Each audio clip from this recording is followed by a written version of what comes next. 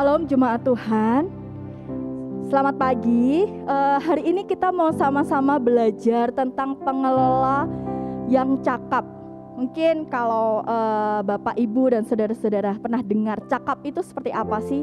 Cakap menurut Kamus Besar Bahasa Indonesia atau yang setiap hari kita tahu, kita kita dengar gitu ya. Cakap itu adalah orang yang memiliki kemampuan untuk mengerjakan segala sesuatu. Cakap ya, bukan cakep ya. Jadi kita harus memiliki uh, kemampuan untuk terus melakukan segala sesuatu itu dengan benar, dengan baik begitu. Nah, mari kita sama-sama buka di Lukas 19 ayat 11 sampai dengan 27. Judulnya uh, judul perikop ini adalah perumpamaan tentang uang mina. Mari uh, kita sama-sama baca ya. Ayat yang ke-11. Untuk mereka yang mendengarkan dia di situ, Yesus melanjutkan perkataannya dengan suatu perumpamaan. Sebab ia sudah dekat Yerusalem dan mereka menyangka bahwa kerajaan Allah akan segera kelihatan. Maka ia berkata, ada seorang bangsawan berangkat ke sebuah negeri yang jauh untuk dinobatkan menjadi raja di situ dan setelah itu baru kembali. Ia memanggil sepuluh orang hambanya dan memberikan sepuluh mina kepada mereka. Katanya, pakailah ini untuk berdagang sampai aku datang kembali. Akan tetapi, orang-orang sebangsanya membenci dia, lalu mengirimkan utusan menyusul dia untuk mengatakan, "Kami tidak mau orang ini menjadi raja atas kami." Dan terjadilah ketika ia kembali, setelah ia dinobatkan menjadi raja, ia menyuruh memanggil hamba-hambanya yang telah diberinya uang itu untuk mengetahui berapa hasil dagang mereka masing-masing. Orang yang pertama datang dan berkata, Tuhan, minta tu, mina Tuhan yang satu itu telah menghasilkan sepuluh mina. Katanya kepada orang itu, baik sekali perbuatanmu itu. Hai hamba yang hamba yang baik, engkau telah setia dalam perkara kecil, karena itu terimalah kekuasaan atas sepuluh kota. Ayat yang ke-18, datanglah yang kedua dan berkata, Tuhan, mina Tuhan telah menghasilkan lima mina. Katanya kepadanya, kepada orang itu, dan engkau kuasailah lima kota. Dan hamba yang ketiga datang dan berkata, Tuhan, inilah mina Tuhan, aku telah menyimpannya dalam sapu tangan, sebab aku takut akan Tuhan, karena Tuhan adalah manusia yang keras. Tuhan mengambil apa yang tidak pernah Tuhan taruh dan Tuhan menuai apa yang tidak pernah Tuhan tabur. Katanya kepada orang itu, "Hai hamba yang jahat, aku akan menghakimi engkau menurut perkataanmu sendiri. Engkau sudah tahu bahwa aku adalah orang yang keras, yang mengambil apa yang tidak pernah aku taruh dan menuai apa yang tidak aku tabur." Jika demikian, mengapa uangku itu tidak kau berikan kepada orang yang menjalankan uang? Maka sekembaliku aku dapat mengambilnya serta bunganya. Lalu katanya kepada orang-orang yang berdiri di situ, Ambillah mina yang satu itu daripadanya dan berikanlah kepada orang yang mempunyai sepuluh mina itu. Kata mereka kepadanya, Tuhan, ia sudah mempunyai sepuluh mina. Jawabnya, aku berkata kepadamu setiap orang yang mempunyai kepadanya akan diberi. Tetapi siapa yang tidak mempunyai, daripadanya akan diambil. Juga apa yang ada padanya. Akan tetapi semua seteruku ini yang tidak suka, aku menjadi rajanya, bawalah mereka kemari dan bunuhlah mereka di depan mataku. Kita sama-sama belajar di ayat ini Bagaimana ada seorang bangsawan ketika bangsawan ini diperintahkan untuk menjadi eh, akan dinubuatkan sebagai seorang raja di dalam suatu wilayah. Bangsa ini membawa menyuruh gitu ya, memanggil 10 orang budaknya. Kalau kalau hamba itu kayak budak gitu ya. Kalau di dalam Alkitab bahasa Indonesia sehari-hari dikatakan di situ budak. Uh, dia dipanggil 10 orang hambanya ini dipanggil dan satu hambanya ini dikasih satu-satu gitu ya. Nah, tetapi ada satu orang yang sungguh itu berkesan di hati bangsawan ini gitu ya. Bagaimana dia mengelola satu mina ini sampai menghasilkan 10 mina. Dan orang yang kedua bagaimana uh, dia dari satu mina menghasilkan lima mina. Tetapi orang yang terakhir, karena dia tahu bahwa bangsawan ini adalah orang yang keras gitu ya, menurut dia gitu ya. Jadi uh, mari kita sama-sama juga belajar di sini ya, jangan mudah berasumsi kepada man, uh, orang gitu ya. Jadi menurut dia bangsawan ini tuh mau mengambil apa yang mungkin dia sudah kerjakan gitu ya, dia akan mengambilnya gitu ya. Padahal sebenarnya bangsawan ini memiliki maksud yang baik gitu ya. Kalau kita lihat sama-sama di ayat 17 gitu ya, bahwa hamba eh, bangsawan ini tidak hanya memuji hamba yang pertama, tetapi dia juga memberikan kekuasaan atau kepercayaan yang lebih besar gitu ya. Ketika dia bisa mengelola dari satu mina menjadi sepuluh mina, dia memberikan kepercayaan bahkan dia memberikan uh, kuasa untuk dia bisa memerintahkan 10 kota. Buat yang satu mina menghasilkan lima mina juga tuh uh, hamba uh, bangsawan ini memberikan gitu ya 10 kota. Tetapi yang terakhir dia tidak mendapatkan apa-apa. Dari sini pun kita bisa belajar bahwa ketika kita melakukan segala sesuatu dengan baik, dengan benar gitu ya, dengan motivasi yang benar, Tuhan itu akan sendiri akan promosikan kita gitu ya. Jadi ketika kita diberikan suatu kepercayaan, suatu uh, pekerjaan gitu ya, lakukan itu dengan sungguh-sungguh. Oke, kita mau belajar hari ini apa sih yang harus dilakukan sebagai anak-anak Tuhan ketika kita dapat menjadi pengelola yang cakap. Yang pertama, apa yang harus kita miliki di dalam kehidupan kita gitu ya. Yang pertama adalah milikilah integritas Sekali lagi saya katakan milikilah integritas. Integritas itu apa? Kita mau sama-sama lakukan apa yang hari ini Tuhan sudah uh, berikan kepada kita gitu ya. Mungkin usaha, mungkin pekerjaan gitu ya. Lakukan itu dengan sungguh-sungguh dan takut akan Tuhan. Itulah integritas. Ketika kita melakukannya dengan sungguh-sungguh dan satu hal nilai yang harus kita pegang yaitu takut akan Tuhan. Kita memiliki integritas yang kuat di dalamnya. Jadi ketika kita melakukan apa yang hari ini mungkin uh, Bapak Ibu saudara-saudara gitu ya dipercayakan dalam sebuah perusahaan atau bekerja di dalam suatu perusahaan gitu ya. Pemimpin kita memberikan tanggung jawab pekerjaan kepada kita. Lakukan itu dengan sungguh-sungguh. Jangan bersungut-sungut gitu ya. Lakukan itu gitu ya dengan percaya bahwa oke okay, hari ini kalau aku ada di dalam suatu perusahaan A gitu ya, berarti Tuhan mau aku berdampak di tempat ini, begitu ya. Jadi lakukan itu dengan sungguh-sungguh, lakukan itu tanpa bersungut-sungut gitu ya. Tapi dengan sepenuh hati dan lakukan itu untuk Tuhan bukan untuk manusia. Kalau hari ini mungkin juga kita misalkan Bapak Ibu gitu ya jemaat Tuhan ada yang baru memulai usaha atau misalkan punya usaha gitu ya. Kok dirasanya selama pandemi ini kok kayaknya kok rasanya tuh kayak ini ya belum belum melihat apa ya mungkin dulu sebelum pandemi uh, apa namanya pendapatannya dudu banyak gitu ya. Tetapi hari-hari ini kita lihat kok hanya sekian ya. Kita mulai coba belajar bahwa yuk kita mau tetap lakukan yang terbaik gitu ya. Lakukan dengan sungguh-sungguh. Tetap takut akan Tuhan. Lakukan itu gitu ya. Jadi kita percaya bahwa promosi keuntungan berkat itu datangnya daripada Tuhan.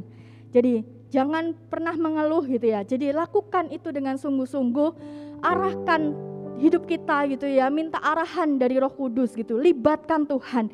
Karena itu yang utama gitu ya. Jadi kalau misalkan kita punya ke, apa ya, kekuatan gitu ya untuk kita oh saya harus bekerja biasanya uh, misalkan kalau pekerjaan ini harus tak lakukan dengan cara ini begitu ya.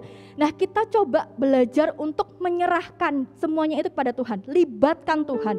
Jadi sebelum berdoa eh, sebelum bekerja, berdoalah, minta Tuhan tuntun gitu ya. Jadi berdoa itu bukan cuma sekedar misalkan kalau misalkan mau kerja terus kita berdoa terus enggak, tetapi ketika kita mengerjakan sesuatu libatkan Tuhan itu bagaimana sih?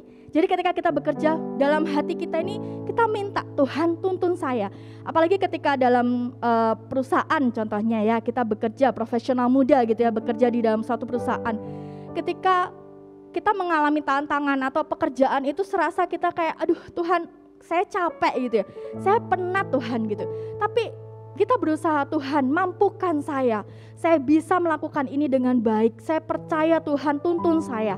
Tuhan taruh dan Tuhan ada di dalam kehidupan saya. Jadi dalam hati ini eh, jangan grundel gitu. Karena apa? Apa yang kita katakan itulah yang akan terjadi. Tetapi apa yang ketika kita ber, di dalam hati ini berusaha bahwa Tuhan saya percaya bahwa saya bekerja bersama dengan Tuhan. Itu pasti apa yang serasa apa ya berat gitu ya. Itu terasa seperti uh, ringan gitu ya. Saya mau kasih kesaksian gitu ya. Bagaimana sebelum saya menjadi seorang full timer gitu ya, saya juga sama seperti jemaat Tuhan yang lain gitu ya. Saya bekerja di dunia sekuler gitu ya selama kurang lebih ada 8 tahun. Saya percaya gitu ya bahwa apa yang saya kerjakan? Setiap kali dulu waktu saya bekerja di dalam dunia sekuler gitu ya dalam suatu perusahaan gitu ya saya lakukan itu dengan sungguh-sungguh gitu ya. Saya lakukan itu dengan sungguh-sungguh dan yang nilai yang selalu saya pegang adalah saya harus takut dengan Tuhan gitu ya. Jadi ketika uh, pemimpin saya minta untuk saya mengerjakan A ya saya kerjakan itu dengan sungguh-sungguh gitu ya. Mungkin ada teman-teman yang mulai kok apa namanya aku kok dikasih ini ya kasih cup saya belajar untuk yuk kita sama-sama belajar kita kerjakan semampunya kita dan kita minta tuntunan Tuhan gitu ya sampai suatu ketika Tuhan promosikan saya gitu ya. Bahkan uh, ada dua perusahaan gitu ya di mana saya bekerja, Tuhan itu baik gitu ya.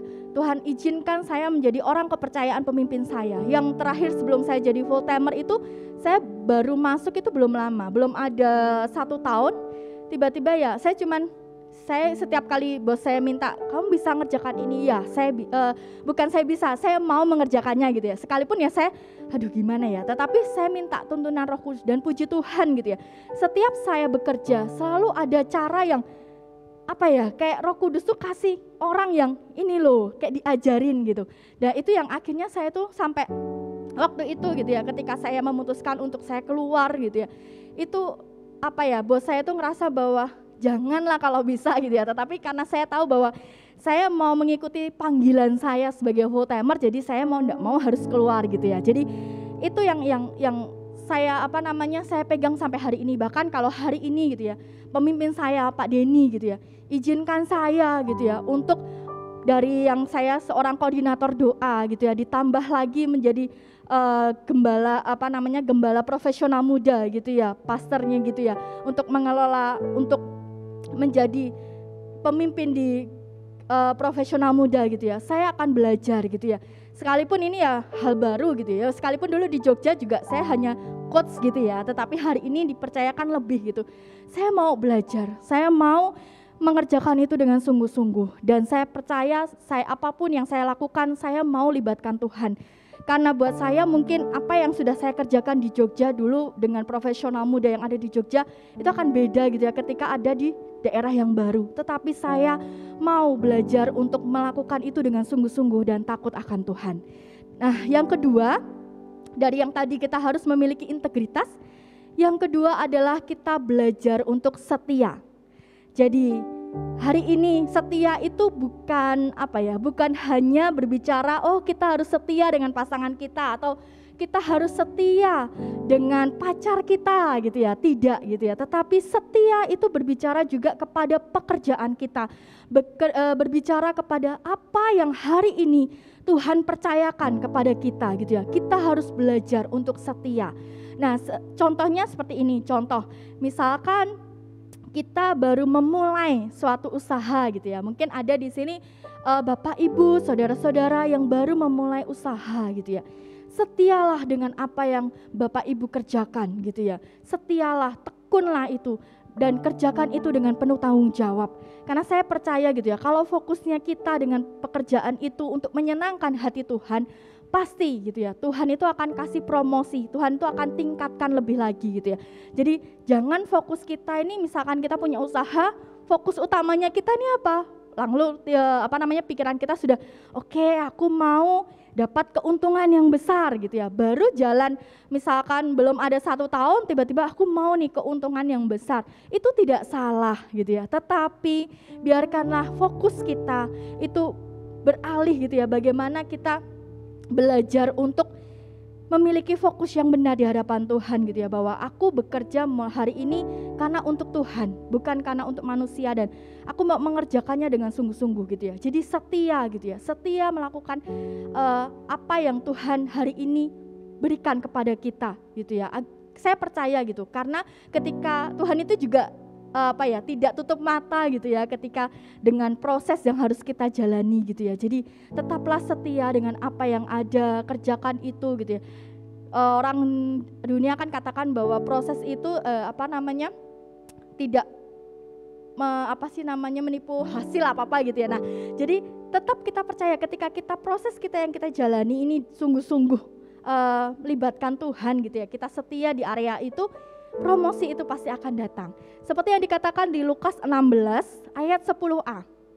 Di sini dikatakan, barang siapa setia dalam perkara-perkara kecil, ia setia juga dalam perkara-perkara besar.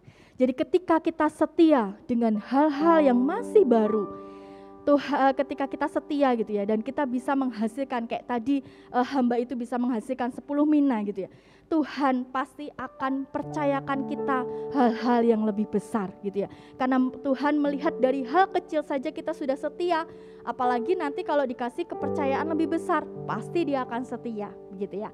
Lalu yang ketiga, apa yang harus kita lakukan sebagai anak-anak Tuhan gitu ya untuk menjadi pengelola yang cakap?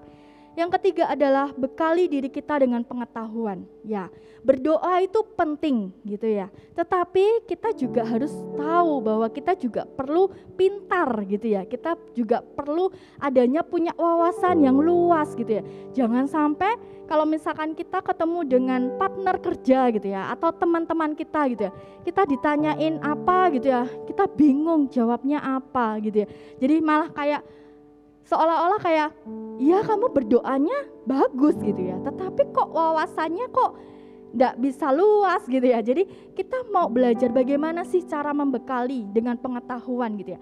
Kita bisa sama-sama baca di Mazmur 919 66a ya.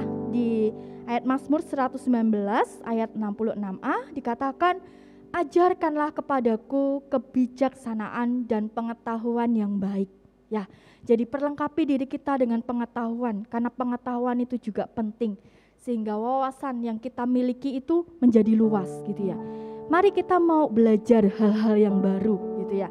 Jadi kita mau sama-sama gitu ya. Contohnya nih, misalkan uh, di dalam suatu keluarga gitu ya. Di sini ada family gitu ya. Bagaimana kita misalkan rindu gitu ya keluarga kita ini menjadi keluarga yang harmonis keluarga yang berdampak. Kalau kita selalu katakan, kalau kita selalu berdoa gitu ya, pendoa-pendoa gitu ya di menara kita selalu berdoa bahwa biarkanlah family-family yang ada di gereja Mawar Sharon ini menjadi family-family yang berdampak. Nah, bagaimana sih menjadi family yang berdampak? Nah, selain kita berdoa, menjaga hubungan dengan Tuhan, kita juga harus menjaga hubungan suami istri gitu ya, menjaga hubungan antara orang tua dan anak gitu ya. Jadi tidak semata-mata oke okay, aku sudah berdoa, setelah itu sama suami istri aja berani gitu ya. Istri berani sama suami gitu ya atau sebaliknya uh, apa suami kasar sama istri itu juga tidak boleh seperti itu gitu ya.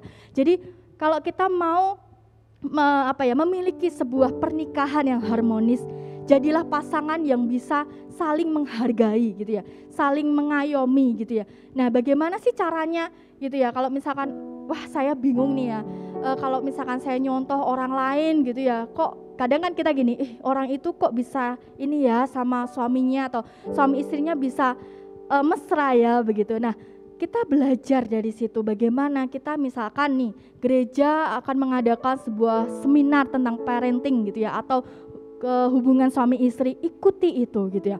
Ikuti seminar itu gitu ya. Atau training-training yang ada di yang dikerjakan di ke, apa namanya diadakan oleh gereja. Lakukan itu kerja, uh, ikuti itu gitu ya untuk menambah wawasan kita. Atau bagaimana cara mendidik anak.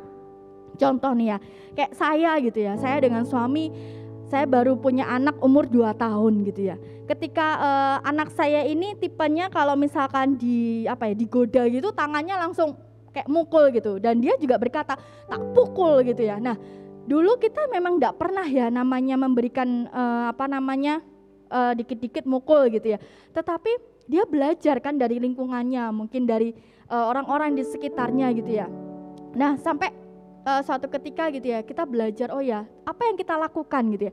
Saya itu sampai apa namanya searching gitu ya, bagaimana mendidik anak agar anak ini tuh enggak nantinya ke depan itu tidak menjadi anak yang nakal, tetapi anak yang sungguh-sungguh takut akan Tuhan gitu ya. Karena dari dia lahir pun saya sudah dapat mimpi dari Tuhan gitu ya, bahwa anak ini adalah anak pilihan Tuhan gitu ya. Jadi saya mau mendidiknya dengan benar gitu. Nah, jadi saya uh, mencari gitu ya satu buku gitu ya. Saya cari lihat bagaimana mendidik anak gitu ya. Bahkan suami juga uh, searching-searching terus kirim ke saya gitu. Oh ya, berarti anak ini ndak boleh kita kasari gitu ya.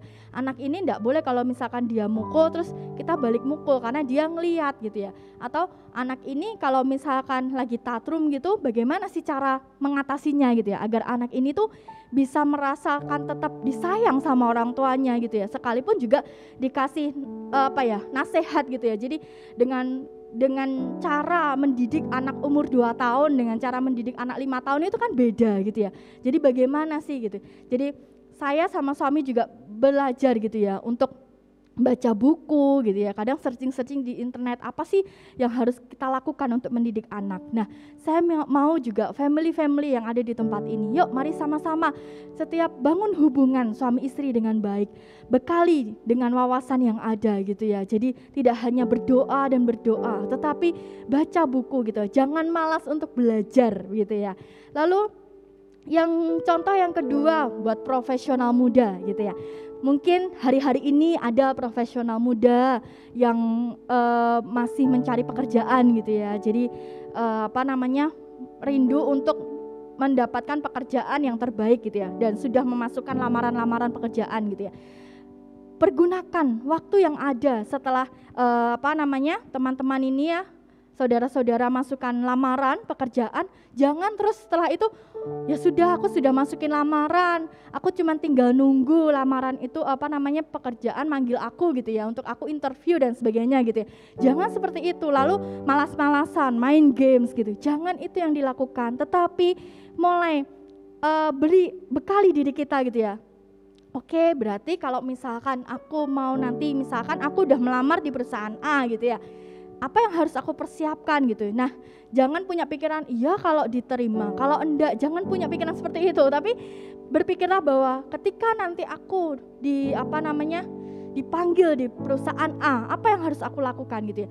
Mulai ikuti misalkan kayak di gereja ini ada training-training tentang uh, bisnis atau tentang pekerjaan gitu. Ikuti training itu gitu ya.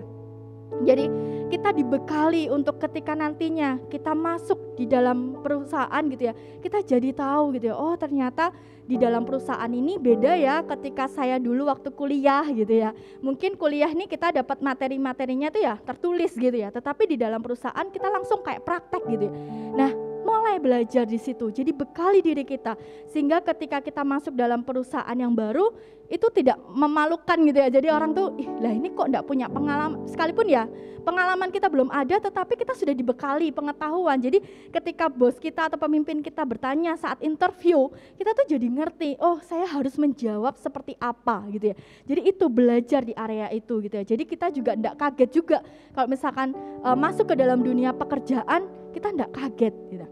Nah, mulai Bapak Ibu dan teman-teman mulai baca buku-buku renungan mungkin atau buku-buku yang yang uh, sekiranya tentang kehidupan gitu ya atau dengarkan khotbah-khotbah. Bahkan hari ini kau Philip juga banyak juga yang berkhotbah uh, tentang kehidupan tentang uh, pekerjaan gitu ya. Jadi banyak-banyak dengarkan khotbah-khotbah yang ada atau buku-buku yang sudah direferensikan oleh gereja gitu ya. Apa yang harus kita dengar apa yang harus kita uh, kerjakan gitu ya, apa yang harus kita baca gitu ya. Jadi apa yang hari-hari ini benar-benar kita rindu untuk menjadi seorang pengelola-pengelola yang cakap, lakukan hal itu gitu ya. Yang pertama adalah miliki integritas karena integritas itu yang terpenting adalah takut akan Tuhan. Lakukan itu dengan sungguh-sungguh dan miliki takut akan Tuhan. Yang kedua, setialah dengan apa yang ada hari ini gitu ya. Jangan moro-moro langsung pengen uh, untung yang besar gitu ya. Tapi setialah. Karena saya percaya gitu ya. banyak hal yang Tuhan kerjakan di dalam kehidupan saya gitu ya. Bagaimana ketika kita setia gitu ya dengan hal kecil. Tuhan mulai percayakan dengan hal yang besar. Tuhan berkati dengan hal yang besar mungkin di luar apa yang kita pikirkan gitu ya. Belajarlah untuk setia gitu ya. Di samping kita juga harus setia juga dengan pasangan kita ya. Kita juga harus setia dengan pekerjaan kita, dengan talenta kita, setia dengan kuliah kita gitu ya. Atau uh, apa namanya yang mungkin saat ini ada profesional muda yang mengambil eh, S2 gitu ya, setialah dengan itu atau yang bekerja, setialah dengan pekerjaan yang hari ini ada gitu ya. Jadi, mari kita sama-sama belajar untuk menjadi pengelola-pengelola yang cakap gitu ya. Yang terakhir adalah bekali diri kita dengan pengetahuan. Ada tiga hal penting itu yang mau kita belajar hari ini gitu ya. Bahwa Tuhan mau untuk kita terus memiliki integritas setia dan membekali hidup kita dengan pengetahuan. Karena pengetahuan pun itu juga penting menurut Tuhan gitu ya. Di uh, firman Tuhan juga dikatakan gitu ya. Bahwa kita juga harus menjadi anak-anak yang pintar gitu ya. Jadi mari sehingga uh, ketika kita memperlengkapi hidup kita hari-hari ini gitu ya. Mari kita sama-sama. Ketika Tuhan angkat kita, kita itu uh, Tuhan itu sudah merasa bahwa saya ini layak untuk diberikan sesuatu yang lebih besar gitu ya. Bukan diangkat ke surga ya maksudnya dalam misalkan dalam suatu perusahaan gitu ya. Atau uh, usaha kita ini diangkat Tuhan jadi naik gitu ya menjadi perusahaan yang besar atau usaha yang besar gitu ya. Tuhan dapati diri kita ini sudah siap untuk menerima sesuatu yang besar gitu ya jadi mulailah belajar untuk kelolalah itu dengan baik gitu ya. Sehingga Tuhan ini dapati kita ini oke, okay, kamu layak untuk aku percayakan lebih besar lagi. Karena kamu sudah melakukannya dengan penuh tanggung jawab, dengan takut akan Tuhan, dengan kesetiaan dan kamu bahkan uh, memperlebar kapasitasmu dengan membekali dirimu dengan pengetahuan-pengetahuan yang uh, yang ada gitu ya. Jadi itu mari Bapak Ibu dan saudara-saudara semuanya. Hari ini kita mau sama-sama menjadi orang-orang yang diberkati Tuhan, menjadi orang-orang, menjadi pengelola-pengelola yang cakap.